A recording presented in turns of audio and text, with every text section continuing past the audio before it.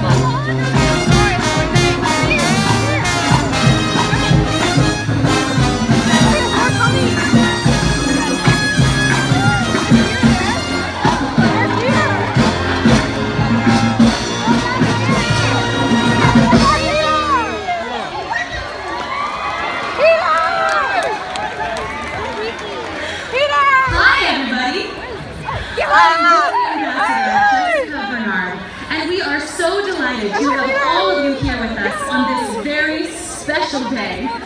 As we enjoy the last few months of our Diamond Celebration, we are so happy to commemorate this 61st birthday of Disneyland with 61 of our favorite Disney pals.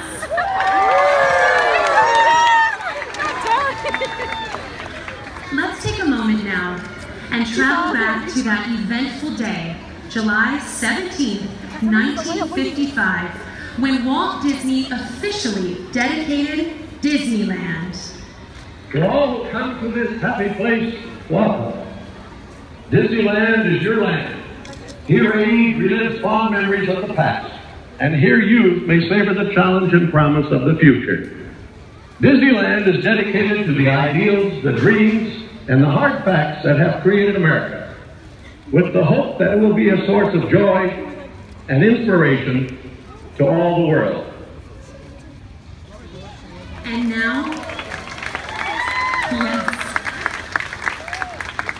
And now, we invite you all to join the Dapper Dans and the Disneyland Band in singing Happy Birthday to Disneyland.